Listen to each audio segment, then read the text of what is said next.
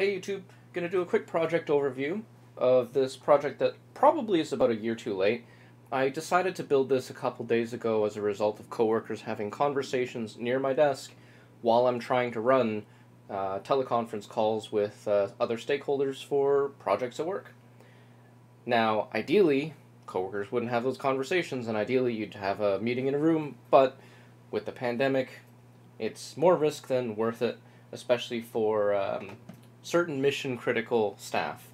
Regardless of which, um, I designed this as a fully self-contained unit. In an ideal world, you would IoT or you know interconnect this thing so it's somehow automated. If you're in a meeting in Outlook, it automatically switches your setting and everyone's happy. But lots of companies don't like that. They don't like um, unfamiliar systems that aren't under their control connected to their systems. And it's reasonable either way. Uh, as a self fully self-contained system, um, there's, uh, I guess, security by obscurity built into this. It's not fully secure in the sense that I can't just wave an RFID card to unlock it. Um, I've hidden a reed switch in here, magnetic sensor to allow me to lock and unlock it, and the finite state machine running on the little Arduino in here uh, saves the states to the EEPROM, so even if you power cycle it, you won't be able to change the state unless um, you know exactly what to do. So in terms of the physical build, pretty straightforward. 3D printed bracket with um, heat set inserts. This slips over the cubicle wall with a um, with a little bit of a friction fit. There's a one degree draft on here just to give it a little bit of a press fit. Um, a little bracket here Cat5 cable for power and data, half inch schedule 40 PVC, and uh, on the actual top assembly you've got 48 LEDs, 12 strips of 4 LEDs apiece, WS2812, so fully RGB and addressable. Uh, in terms of the legend sign, I'm going to put color stickers or something here, but it's just a friction fit coroplast sign so that in the future I could pull this out and uh, relabel it with anything that I want. Uh, because eventually the pandemic's going to be over and eventually I may not need this sign at my desk. Regardless of which, how does it actually work? So there's a hard and a soft lock, as I've called it in the code. The soft lock is just to prevent casual people from screwing around with it. You just have to press two buttons and then you select which one you want. So I can select the color and just quickly set the color to whatever I want. Um, I, I, chose blue because it seems to carry the best um, distance-wise and visibility-wise. It gets people's attention to say, hey, I'm in a meeting. Please don't walk up to me and just start talking as if I'm going to pay attention to you. I've clearly got headphones on. I'm clearly talking to other people. You're just going to have to wait. Can you tell I'm bothered by this? Anyways, um, the soft lock really is just a, you know, a quick measure of preventing people from interfering with it. But what if I'm walking away for the rest of the day? Right? What if I'm working from home for a couple days? Um, with a little Hall effect, not Hall effect, reed sensor switch in here, I can wave a magnet by here, and then now it's locked and you can't change a setting. Even if you power cycle it, comes back to its original state because you're saving the state machine uh, setting in the EEPROM. The microcontroller should be good for probably tens to hundreds of thousands of writes, and how many times am I going to power cycle this? I think for the lifetime of this project, I'll never have an issue. And honestly, I'm only saving in one memory address, so if at all I ever have to, uh, you know, deal with a worn out memory cell in, in the microcontroller, I just change the address from 0 to 1 and I've extended the lifetime what to do. Um, either way, the software as well in here has a hidden debug mode, and this is mainly for future applications where I change out this Cat5 cable for a much, much longer run to say if I wanted to put this remotely.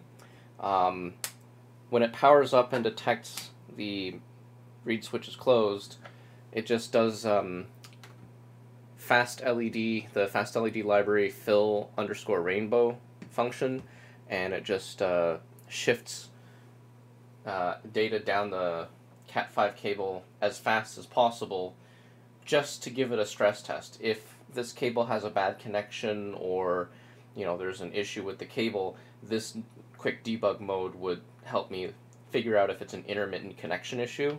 You know, say if you just start pulling this connection out and giving it an intermittent co- connection, you'd start uh, jiggling the cable and trying to find out if there was a, you know, bad conductor in here or something. Anyways, you can just quickly exit out of that debug mode and then you're into your normal program. Oh, right, and it locks itself on power up, so, you know, it's pretty foolproof and pretty simple. Um, I think at this point I'm just going to go into the internal construction really quickly and then call it a day. This is just a really quick project video. This isn't a build log or anything like that. I literally banged this out in a day and a half. So let's take a look inside. Alright, so let's take a quick dive inside. Um, I've got the unit powered up, it's low voltage DC, so no one's really going to care. Case was designed in uh, Fusion 360 to really just fit the form factor that I wanted it to. I would have liked to give it a, a slanted profile, but quick and imperfect is better than perfect and not complete. So just a couple of uh, countersunk screws, a couple push buttons, and the inside does look like a bit of a rat's nest, but it works. Uh, quick case drawn up with some support ribs just to increase its rigidity.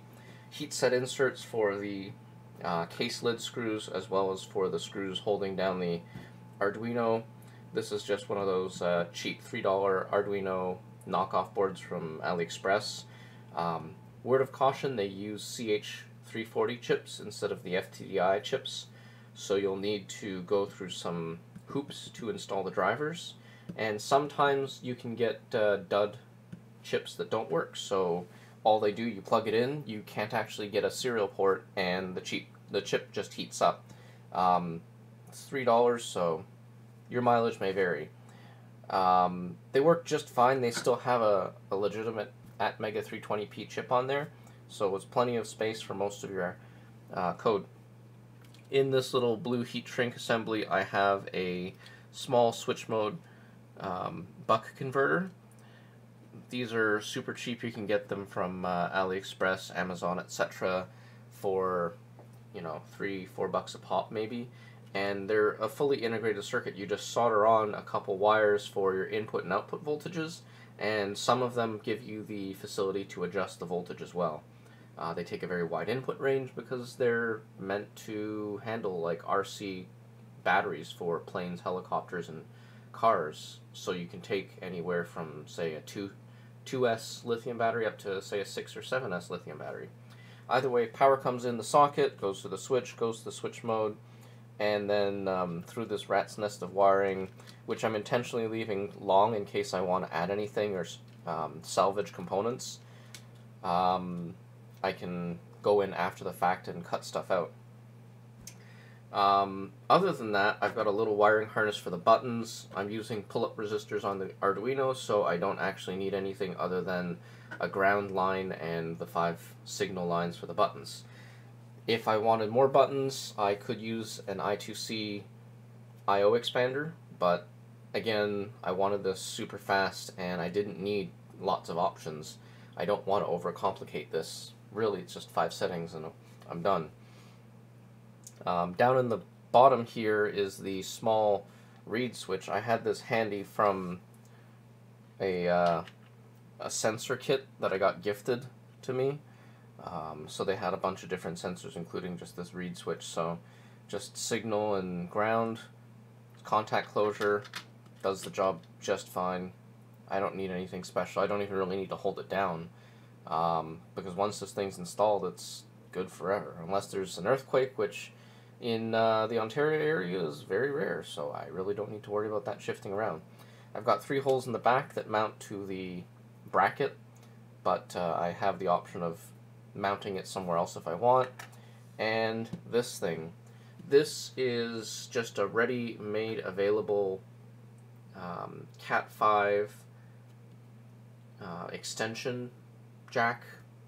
For lack of a better term, it comes for maybe 5 to $10 on AliExpress. You get a uh, shielded Cat 5 with a cable and get a male on one end, a female on the other, but the female is designed to be panel mounted. So you could have a computer inside an enclosure, you plug this into the computer, and you mount that on the panel with the two M3 screws.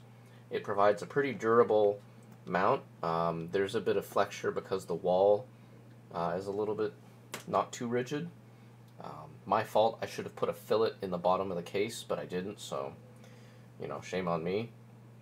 Either way, um, the wires that come out aren't twisted pair, unfortunately, so I wouldn't even call it necessarily Cat 5.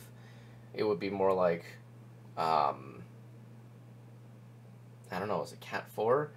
Uh, either way, I wouldn't trust these for high data rate, but they're such a short cable, they're only a few inches long, that you can get away with it. And in this application, it's not even really high speed. It's maybe kilobits per second at most when you're doing uh, one wire serial data down the uh, WS2812s. Either way, this was designed super quick and built in two days on my spare time. So this thing's done and it's going to go uh, at my desk at work. So other than that, let's uh, talk about a bit more on the development side. So now that we've taken a look inside, I guess a few other notes about the uh, development and kind of quick prototyping of this. AliExpress is a great resource if you're willing to plan ahead so that you can pre-stock your bins, if you can afford it, uh, both in terms of money and space, with certain items. One of those items are these uh, header shields. They cost a dollar or two, and all they do is they break out all of these connections into headers. Each of the digital and analog pins are broken out into a three pin ground voltage signal um, header.